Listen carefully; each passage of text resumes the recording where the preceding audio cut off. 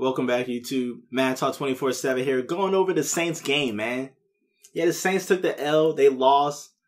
And everyone's blaming this dude, Marcus Williams, and he should be blamed, man. What what was that? For real. Dude talking about he didn't want to get pass interference or he didn't want to, yeah, pass interference is the worst possible thing that could happen instead of a walk-off touchdown. Man, it was just, it was crazy, man. I've been saying start of the year, Saints gonna win the Super Bowl, Saints gonna win, Saints gonna win, and it's just tough seeing Drew Brees go out like that, man. But, you know, I was, I'm trying to defend Marcus Williams, man, for real, cause, I mean, he had a pick in that same game. I know a lot of people forgot about it, but he had a pick in the same game, and it's just, man, I ain't seen him play that bad since Rahim Moore. Not even gonna lie, man. I ain't seen him play that bad since Rahim Moore, and it's just, it's baffling. But this guy's a rookie. So I want to give him a benefit of the doubt, but that's just, that ain't football, man. You know, the, man, that just ain't football, man, for real. This dude, I had to watch the replay. I, I'm just, sitting back watching in shock. Like, okay, when are they gonna throw the flag? All right, when are they gonna blow the whistle? Like, this obviously did just happen. You know, we won the game. I'm talking to my family, telling them, yo, we got the Eagles up next, and then that happened. So tough way to lose, man. But only consolation is uh it was the second round, really, man. Uh the deeper you go, the more the loss hurts. And I don't know how it feels to lose a Super Bowl. I don't. Now I knows how it feels to win one. But yeah, Marcus Williams, man, like he's still my boy, man. I mean, the way I see it, man, he made one big play and then one really, really bad play. But he's a rookie.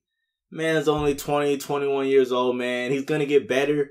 He had four interceptions as a rookie. So, I mean, this guy's a pretty good player, man. And that's why it's just even more it just don't even feel real, man. Honestly, man, just I mean, it just don't feel real. I mean, it's just it's just embarrassing, man. They had 25 seconds left and got a touchdown. They had 25 seconds left and got a touchdown, but that's just how it is, man. Uh, I I honestly believe we were gonna win the Super Bowl, man. I wasn't just saying that. I honestly believed it. I thought it was gonna be our year, but it's a team game, man, and you need all 53 or 46 or how, however many players play, man. You need them all to play good. I mean, a block punt, a, a whiff, you know, you just, I mean, it, it's, it's a team game, man. It was tough seeing Drew go down like that. It really was, but that's really all I gotta say, man. I mean, the Vikings defense, they played good in the first half, but I thought going in it was overrated. Michael Thomas, uh, I thought Xavier Rhodes overrated. Michael Thomas started, you know, catching passes all over him. So I don't know, man. I think Drew still got one year left in him, uh, maybe two.